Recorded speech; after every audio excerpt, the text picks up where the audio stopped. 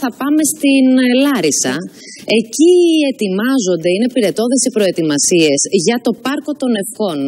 Η Μάνια Γκουσιάρη είναι εκεί. Βλέπουμε και εικόνα, όμορφη εικόνα από την ε, πλατεία και από τις προετοιμασίες. Να μας πεις καταρχάς τι είναι το Πάρκο των Ευχών που πολλοί δεν γνωρίζουμε και τι θα γίνει εκεί η Μάνια; Δεν τον γνωρίζετε γιατί είναι η πρώτη φορά που γίνεται κάτι τέτοιο. Καλημέρα λοιπόν από τη Λάρισα και από το πάρκο Αλκαζάρ. Δεν είναι απλώς μια πλατεία, είναι το μεγαλύτερο πάρκο της Λάρισας. Μια έκταση 65 στρεμάτων, όπου όπως είπες και σήμερα, οι ετοιμασίες είναι πυρετόδει, προκειμένου μέχρι τις 8 Δεκεμβρίου το πάρκο Αλκαζάρ να έχει μεταμορφωθεί σε πάρκο των ευχών.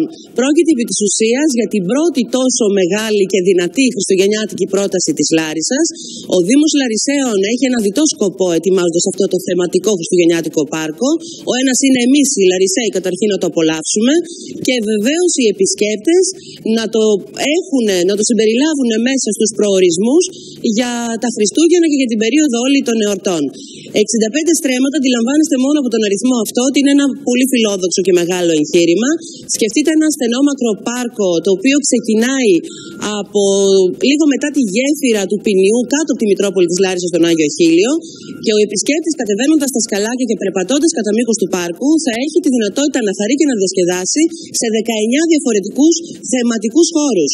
Η οικογένεια ανθρώπων, παραμυθοχώρα, μάνιταροχώρα, ταχυδρομείο, μία μικρή και μια μεγάλη σκηνή, το εργαστήρι των ξωτικών, καρουσέλ, το τρένο του Βόρειου Πόλου, vintage Χριστούγεννα, παιχνιδόκουτο, τρενάκι, σπίτι του Άγιου Βασίλη φυσικά, συνεξωτικών, ζαχαρόσπιτο και θα υπάρχει και μια χριστουγεννιάτικη και είναι στην καρδιά της Λάρισας και χαιρόμαστε πάρα πολύ γι' αυτό, διότι μπορεί να. Δεν τελείωσε, έχει κι άλλα. Έχει κι άλλα. Για πες μας και τα υπόλοιπα. Υπάρχει fun park, θα υπάρχει λοιπόν fun park, ένα λούνα park με κούνιες για μικρούς και μεγάλους. Και εδώ τώρα που βρίσκομαι εγώ και σας στέλνω την εικόνα, είναι η λίμνη η οποία υπάρχει μέσα στο πάρκο Αλκαζάρ.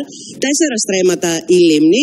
Έχει απομακρυνθεί το νερό, έχουν γίνει εργασίες και στείνεται παγοδρόμιο. Το παγοδρόμιο λοιπόν μέσα στη λίμνη θα έχει έκταση 600 τετραγωνικά μέτρα και δεν είναι μόνο αυτά. Θα υπάρχουν όλη την ημέρα, όλες τις μέρες αυτές, παράλληλες εκδηλώσεις.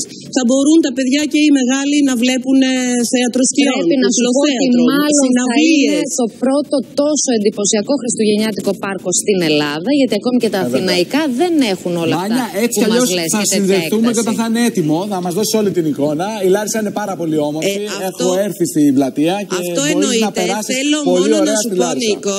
Ναι, ναι. Για να Θέλω κλείσουμε. λοιπόν να σου πω, Νίκο, με αφορμή αυτό και μέρη και να κλείσουμε με αυτό, ότι όλες οι δράσεις θα είναι δωρεάν. Θα πληρώνει κανείς μόνο αν θέλει να ανεβεί σε, κάποιο, α, σε κάποια κούνια από τα Λούνα Πάρκ, αν θέλει να φάει και να καταναλώσει. Μπράβο, και θα δούμε και τι τιμέ. Μάνια, θα δούμε και τις τιμέ. Να είναι προσιτές οι τιμέ. Να είναι προσιτές οι τιμές για τη χρήση. Νομίζω πως θα είναι προσιτές, αυτός είναι ο σκοπός. Και θέλω να κλείσω λέγοντας και να συμπληρώσω τον Νίκο ότι εδώ ο επισκέπτης δεν θα φάρει μόνο το θεματικό πάρκο, αλλά μπορεί στη Λάρισα να δει πάρα πολλά αξιοθέατα. Ακριβώς. Αρχαίο θέατρο, δημοτική πινακοθήκη, ναι. λαογραφικό μουσείο. Άμα δεν είναι τόσο του πολιτισμού, μπορεί και να φάει πολύ καλά. Έτσι, μπράβο, καλά τα λες. Και δυνατή και δυνατή εμπορική αγορά. Ωραία, πάμε. Μάνια Κουσιάρη. Πολύ όμορφα μαγαζιά. Πολύ όμορφα μαγαζιά έχετε.